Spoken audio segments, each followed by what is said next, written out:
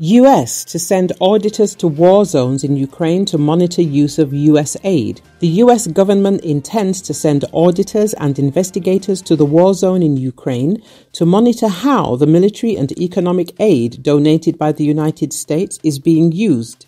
Since the beginning of the war, Washington has transferred more than $110 billion to Kyiv. This was reported by the Wall Street Journal. Inspectors general from the Pentagon, the State Department, and the U.S. Agency for International Development informed the newspaper about plans to send auditors to Ukraine. So far, employees of these agencies have been conducting the audit remotely from Washington. They were also assisted by partners in Poland and Germany. However, as the scale of assistance increases, the oversight agencies intend to tighten control. After a joint trip to Kiev in late January, the inspectors said they would push for 177 auditors and investigators to be sent to Ukraine. Real, comprehensive, reliable oversight cannot be done remotely. The closer we are, the more comprehensive the oversight will be, said USAID Deputy Inspector General Nicole Angarella.